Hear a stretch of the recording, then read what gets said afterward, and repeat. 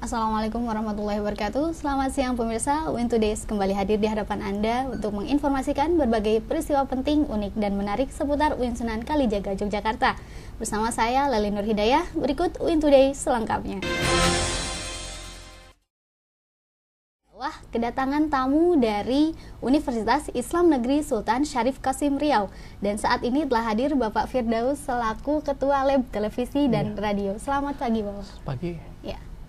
Uh, jauh-jauh nih Pak dari ya. Riau ya ke Yogyakarta uh. dalam rangka apa nih Pak? Pertama kita ingin melakukan namanya studi akademik ya. Kita ingin melakukan yang namanya pengkajian mungkin berupa mata kuliah yang ada di jurusan-jurusan. Kebetulan di dakwah kita ada empat jurusan ya. Oh ada jurusan komunikasi, yang kedua jurusan pengembangan masyarakat Islam, ya. yang ketiga jurusan uh, eh, BPI, bimbingan penyuluhan Islam dan MD. Ya. Jadi mungkin hampir sama dengan yang ada di Sunan Kalijaga. Ya. Mungkin bedanya sedikit bahwa di di Kalijaga komunikasi apa? KPI ya. ya. Sedangkan di kita adalah komunikasi ilmu komunikasi. Oh, ilmu komunikasi. Nah. Tapi tetap fakultas tetap dakwah. Tetap ya, fakultas ya, dakwah dan ilmu komunikasi namanya. Oh, iya. Bukan hanya fakultas dakwah sebenarnya. Ya. Uh, perguruan tinggi Islam negeri itu banyak tersebar ya Pak yeah. ya di iya. Indonesia.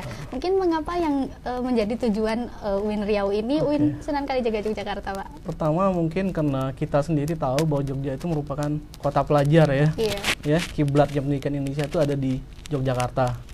Dan tentunya juga kiblatnya UIN itu salah satunya adalah di Yogyakarta. Yeah. Karena merupakan salah satu UIN tertua yang ada di atau IAIN tertua yang ada di Indonesia ya. Yeah. Dari segi kualitas juga merupakan yang terbaik salah satunya di Indonesia.